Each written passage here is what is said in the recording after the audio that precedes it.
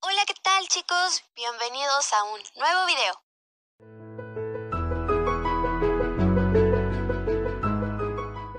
El día de hoy hablaremos sobre el conocimiento empírico.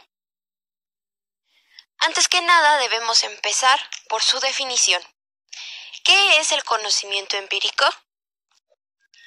El conocimiento empírico es aquel que se va a adquirir a través de la experiencia.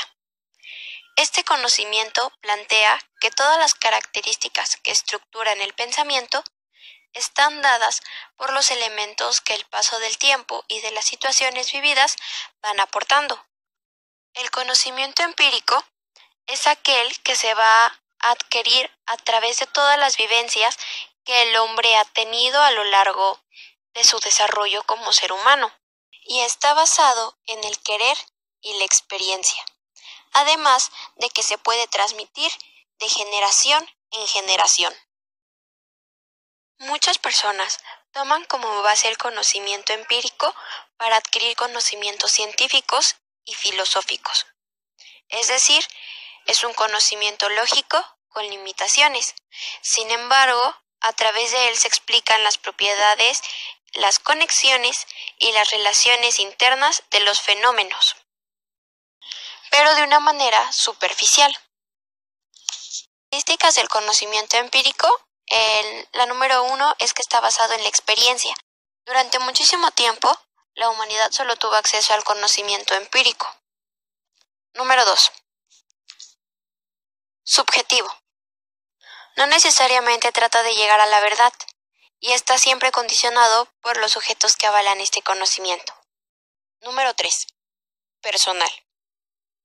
Cada individuo incorpora y asimila estos conocimientos de una manera peculiar, desde su acervo personal y sus propias creencias y experiencias, lo que lo torna un conocimiento mucho menos preciso para hacerlo como el conocimiento científico.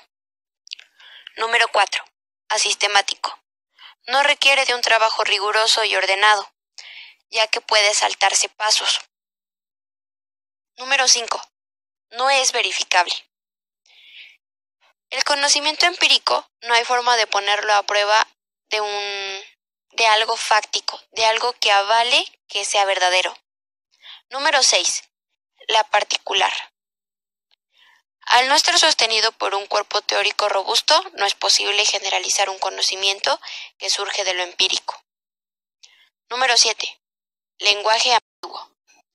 A diferencia del conocimiento científico, carece de un idioma propio, es decir, de palabras específicamente pensadas y definidas para explicar el fenómeno en cuestión. Número 8. Es episódico.